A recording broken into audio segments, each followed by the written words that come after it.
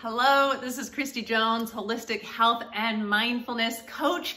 And did you know you have three brains, right? This might be a surprise to some of you, and some of you, you might have known this for a while. But let me show you this.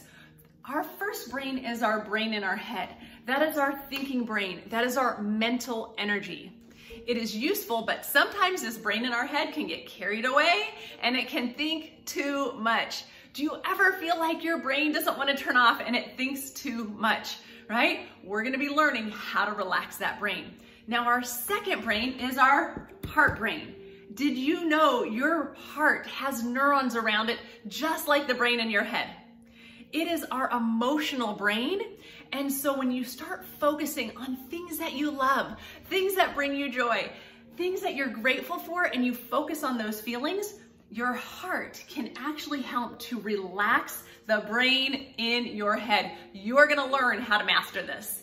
Now, our next brain is our intestines. Our intestines is a brain. We have a dog-sized brain, yep, you guessed it, right here in our intestines. Our intestines are always paying attention to what is going on. Have you ever been um, worried about a test and you have a stomach ache?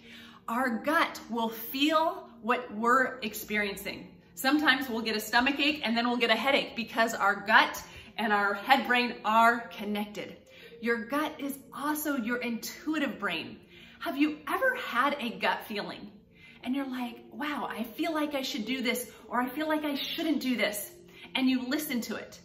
It probably turned out well. When we don't listen to our gut feeling, have you ever had that experience?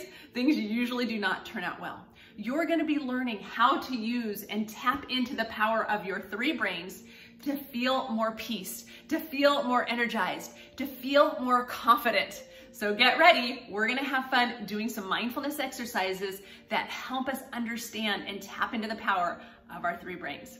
Bye for now.